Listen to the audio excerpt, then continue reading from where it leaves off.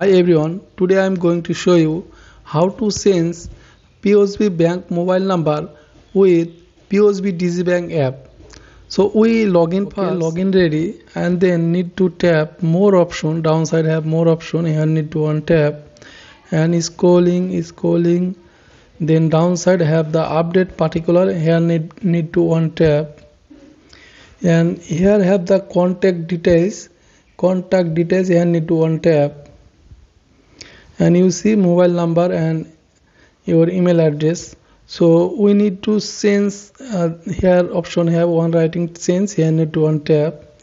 And then need to uh, enter your mobile number here need to write mobile number. Uh, full mobile number need to write. And then uh, you want to change email address also here can.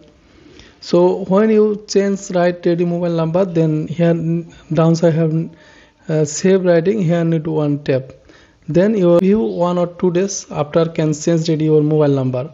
So like this you can uh, mobile number change uh, uh, use the POSB Digibank apps. So uh, if you like this video please subscribe our channel and get more video